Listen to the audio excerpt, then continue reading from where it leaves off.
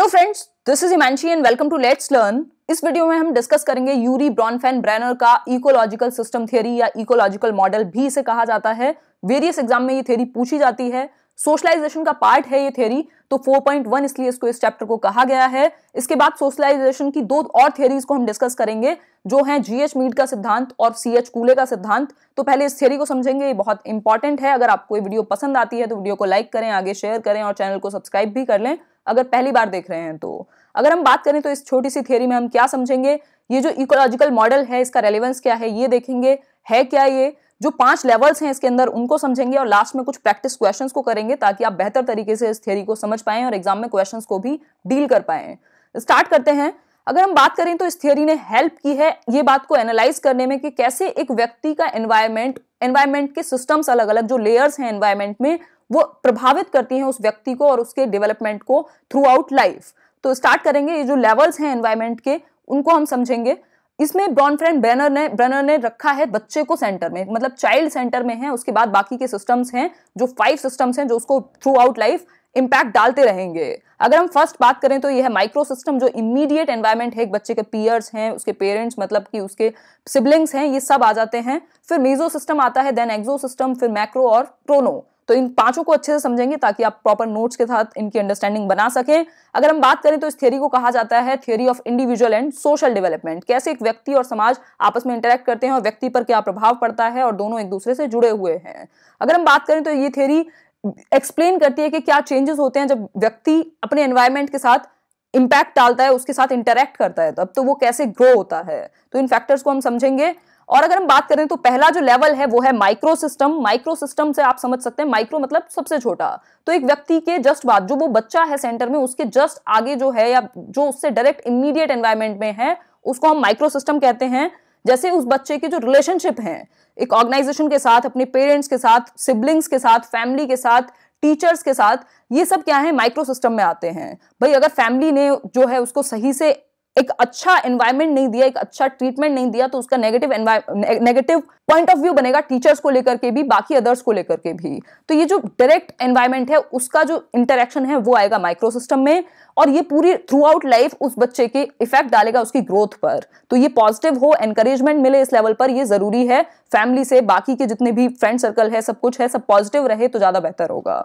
आगे बढ़ते हैं second meso system meso system basically जो माइक्रो सिस्टम है और व्यक्ति है, उसका जो एनवायरमेंट है, ये जो इंटरेक्शन है बच्चे के इमीडिएट सिस्टम का, उसको हम मीजो सिस्टम कहते हैं। जैसे जो पेरेंट्स हैं, उनका इंटरेक्शन स्कूल के साथ पेरेंट्स मतलब फैमिली का इंटरेक्शन, पीयर ग्रुप के साथ तो ये जो दोनों का इंटरेक्शन है माइक्रो सिस्टम में जो लोग हैं, उनका आपस में जो इंटरेक्शन है, उसको हम मीजो सिस्टम कहते हैं। तो इसको आप ध्यान में रखें, जैसे फैमिली और टीचर्स का इंटरेक्शन, जो रिलेशनशिप है बच्चे का पीयर ग्रुप के साथ और फैमिली के साथ, उन दोनों का इंटरेक्शन। तो जब भी दो इमीडिएट जो सिस्टम है, उनका जो इंटरेक्शन है आपस में, उसको हम मीजो सिस्टम कहते हैं। नेक्स्ट पर बढ़ते हैं। नेक्स्ट है एक्सो सिस्टम एक्सो सिस्टम मतलब कि ऐसा इंपैक्ट जो इनडायरेक्ट है बच्चे पर। अगर हम बात करें तो exosystem is a setting where children do not play an active role बच्चा यहाँ पर एक्टिव रोल प्ले नहीं करता, लेकिन ये जो सिस्टम है, उसको बहुत सारे कॉन्टेक्स्ट में इम्पैक्ट डालता है। मतलब अगर हम बात करें यहाँ पर तो जो बच्चे के पेरेंट्स हैं, उनका जो वर्क प्लेस है, बच्चे के पेरेंट्स जो है, अगर उनको मान लीजिए अच्छी सैलरी मिलती है तो वो उस पर बच्चे पर भी प्रभाव डालेगा। जो एक्सटेंडेड फैमिली मेंबर्स हैं, जो दूर के रिश्तेदार हैं नेबरहुड है स्कूल बोर्ड है मतलब स्कूल बोर्ड अगर आप समझें तो जो करिकुलम मेकर्स हैं अब वो करिकुलम मेकर्स बच्चे के तो डायरेक्ट कांटेक्ट में नहीं है, लेकिन उस बच्चे पर उन करिकुलम मेकर्स ने जो करिकुलम बनाया है, उसका प्रभाव पड़ेगा। स्कूल बोर्ड में जो कमेटी में जो सदस्य हैं, वो डायरेक्ट बच्चे के कांटेक्ट में नहीं है, लेकिन फिर भी उनका प्रभाव पड़ेगा, उनके डिसीज़न का प्रभाव पड़ेगा।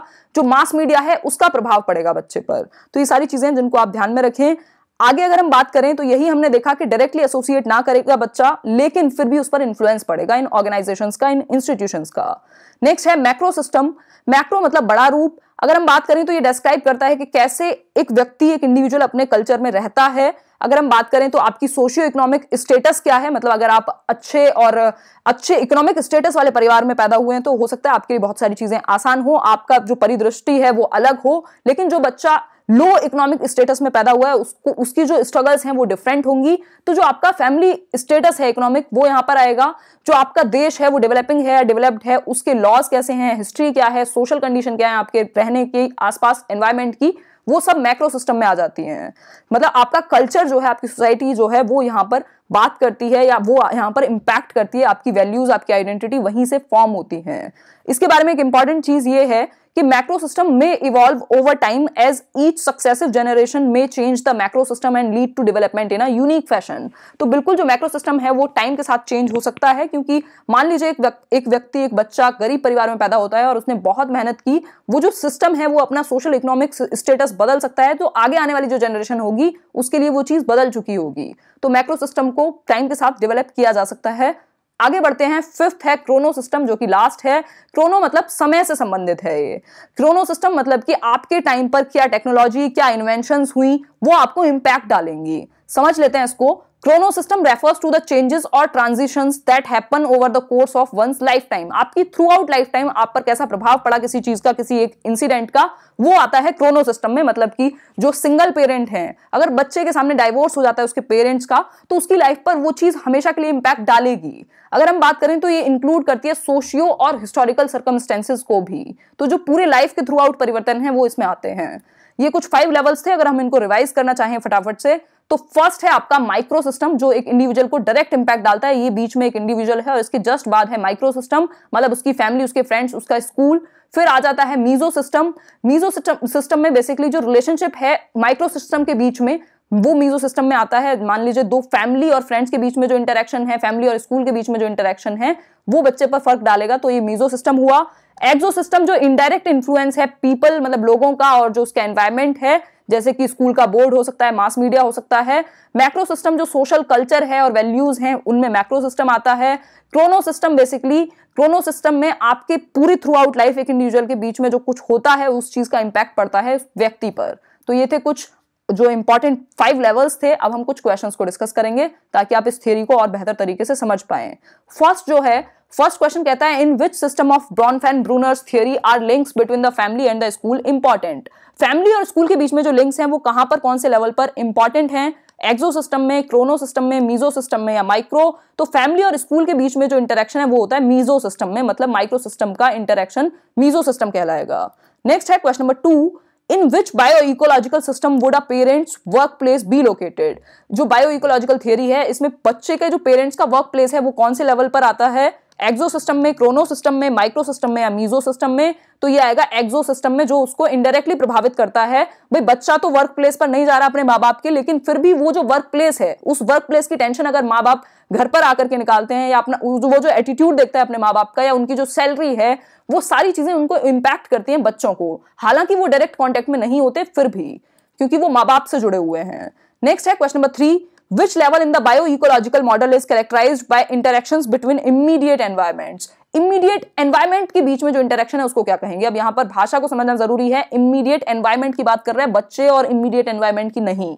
तो ये माइक्रो सिस्टम होगा मैक्रो होगा मीजो होगा या एक्सो होगा। खुद सोचें यहाँ पर तो ये मीजो सिस्टम है, क्योंकि इमीडिएट एनवायरमेंट आपस में इंटरेक्ट कर रहे हैं, जैसे स्कूल और उसका पियर ग्रुप स्कूल और उसके पेरेंट्स तो ये है एक बात। नेक्स्ट है question number four what is the outer most system in the ecological model तो इकोलॉजिकल मॉडल में आउटर मोस्ट मतलब फिफ्थ लेवल कौन सा है? सबसे बाहरी वाला meso system chrono system macro system या एक्सो सिस्टम तो क्रोनो सिस्टम है जो आउटर मोस्ट है।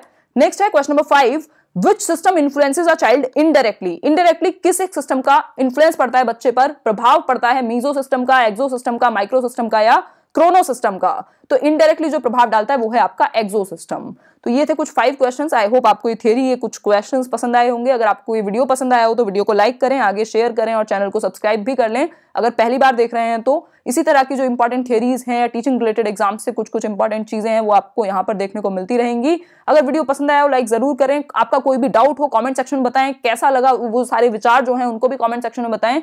Thank you guys thanks for watching this was Himanshi signing off all the very best